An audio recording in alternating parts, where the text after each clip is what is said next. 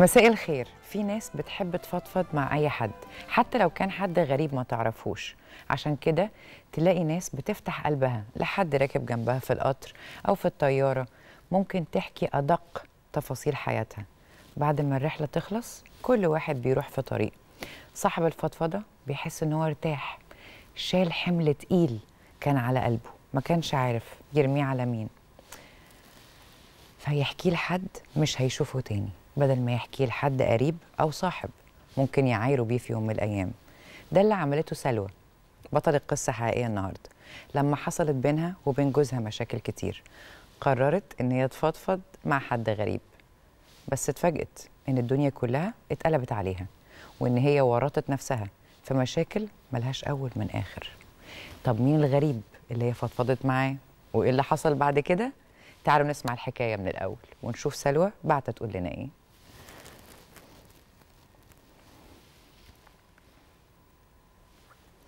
اسمي سلوى وعندي 26 سنة. اتخطبت وأنا عندي 21 سنة لابن عمتي رغم إني ما كنتش أعرفه خالص لأنه كان عايش عمره كله في محافظة تانية. مع العلم إن فرق السن بينا 17 سنة وأنا معايا ليسانس وهو معاه ابتدائية.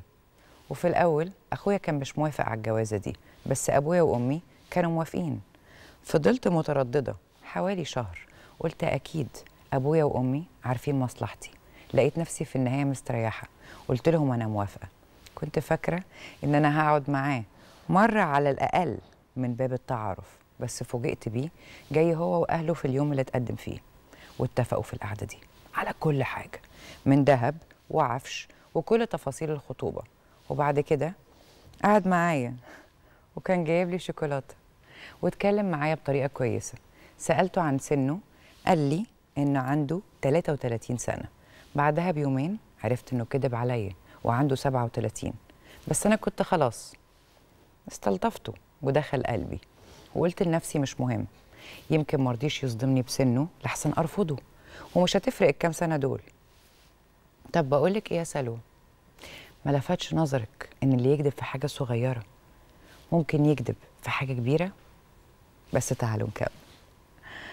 كل حاجة وقتها تمت بغير رضا أخويا الكبير بس أنا حبيته حب عشق واتجوزنا بسرعة. ودخلنا في بيت عيلة وبعد الجواز حملت على طول وهو سافر تاني لشغله.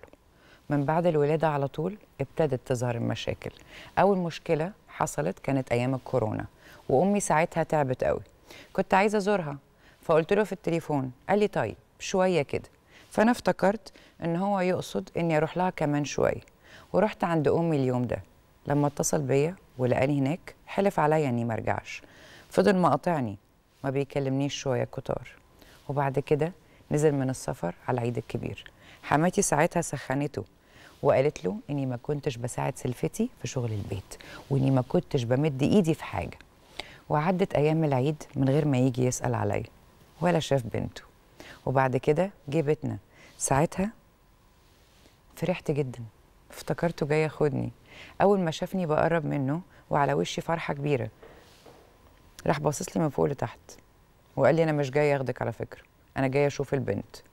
كانت الهدوم اللي هو لابسها مكوية ومغسولة وهو كانت علاقته بمرات أخوه قوية جدا وكان بيقدرها قوي دايما بيعاملني بطريقة مش كويسة قدامها لدرجة إنه كان بيقول لي إنها أحسن مني.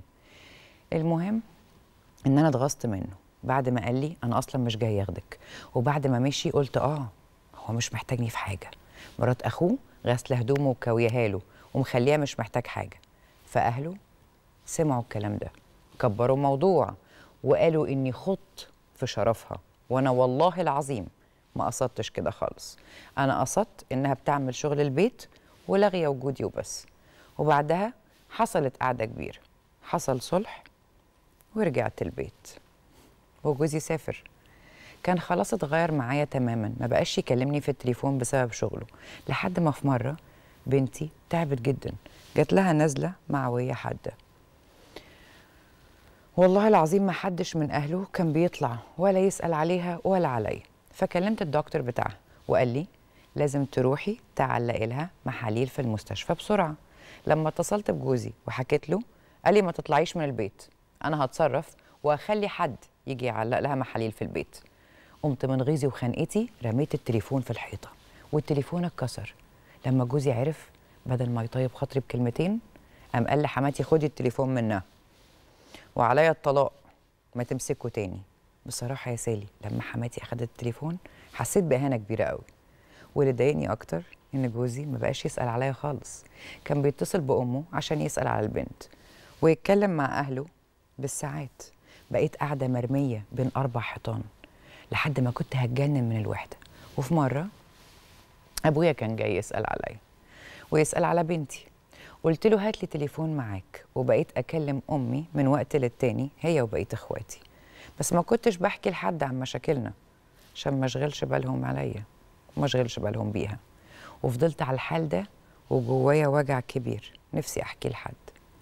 لحد ما افتكرت حد كان بيكلمني زمان قبل ما اتخطب. كان حد أعرفه من التليفون وبس ما أعرفوش على الحقيقة. فشطاني وزني بسبب الوحدة اللي أنا فيها وبسبب إن جوزي سايبني مش بيسأل فيا إن أرجع أكلمه تاني. بس والله العظيم يا سالي كنت بحكي له إني بحب جوزي وهو مش بيسأل فيا وكنت بسأله المفروض أتصرف إزاي في اللي أنا فيه ده. هو عمري ما قلت له كلمة حرام أو كلمة وحشة. كل الحكاية إني كنت بفضفض مع حد ما يعرفنيش وخلاص. ولو جه في دماغكم إني بكذب فأنا ما كنتش مضطره أصلا إن أبعت لكم أو أحكي. المهم جوزي عرف إن معايا تليفون من وراه. راح نزل عمل بحث على الخط جاب كشف بالأرقام اللي كانت بتكلمني كلها. وعرف إني كنت بكلم الشخص ده. ساعتها قلبي وقع في رجلي من الخوف. لما لقيته بيقول لي رقم مين ده؟ اترعبت. قلت له ده رقم واحد. خدت علقة موت. جاب عمي شهده عليا. وقعد يقول البنت اللي هي مخلفاها دي مش بنتي. فضل يضربني بكل جنون. وأنا متحملة وبقول بقول لنفسي أنا غلطانة واستاهل. لما أهلي عرفوا الموضوع قالوا له يطلقني. فأنا رفضت. وفضلت أتحايل عليه.